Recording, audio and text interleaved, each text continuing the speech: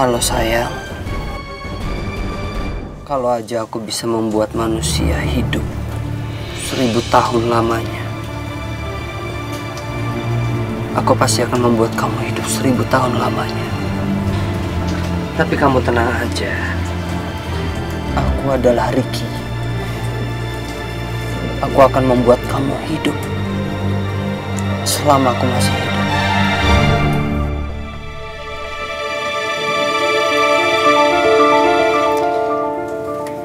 Kita ketemu di rumah ya sayang.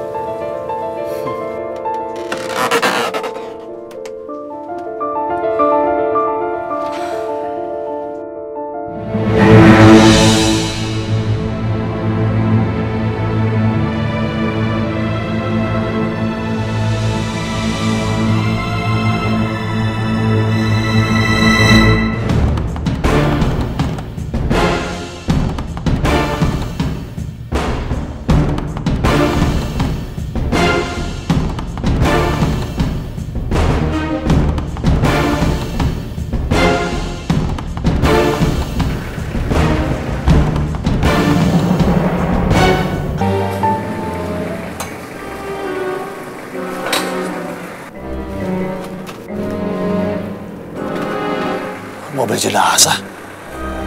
Ngapain ke sini? Ini pasti jenazahnya Ricky. Eh, Pak, ini kenapa dibawa ke sini? Saya nggak tahu pak, Pak Riki yang suruh bawa ke sini. Pak Tolong Ricky. yang pak.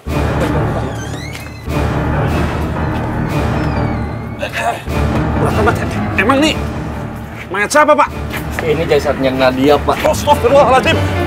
Waduh, pelan-pelan dong pak. Kalau jatuh gimana nih? Ayo pak, tolong bantu lagi pak. Yaudah lanjut aja, Pak. Lanjut, Pak. Ayo pak, berat nih pak. Ayo pak, tolong pak. Nggak kuat apa?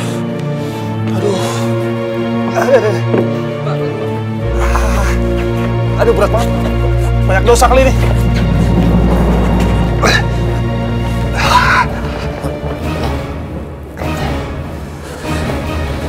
Oke pak, kalau gitu saya pamit pulang dulu. Ya udah, udah. Makasih ya, Pak.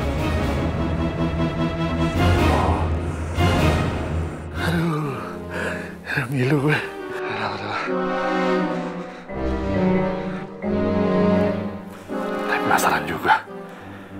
Apa betul ya? Cinta sama Nadia itu mirip. Nah, bismillah deh.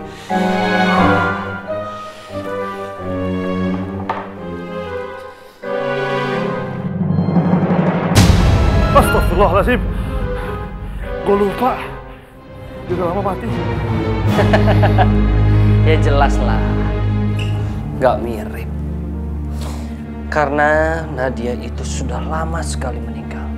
Riki, kamu ngapain sih Rik bawa-bawa tulang belulang ke sini Rik? Hah? Bawa dong ke kuburan. Makamin dia biar tenang dia di alam bakar Rik. Enggak, Viko. Nadia itu harus terkubur bersamaku. Nanti kalau aku mati, aku akan berada di tengah-tengah mereka. Cinta di tangan kananku dan Nadia di tangan kiriku. Kita bertiga. Riki, kamu sehat Rik.